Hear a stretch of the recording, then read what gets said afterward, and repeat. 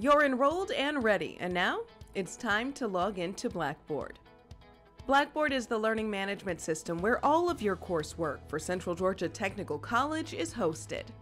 Keep in mind though, before you log on, you'll need to change the temporary password you were given by CGTC when you were admitted.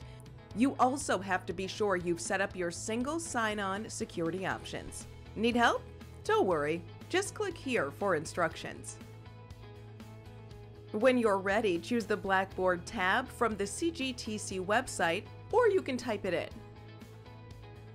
Then select Blackboard Login. On the following page, enter your full CGTC student email and password. Still need help?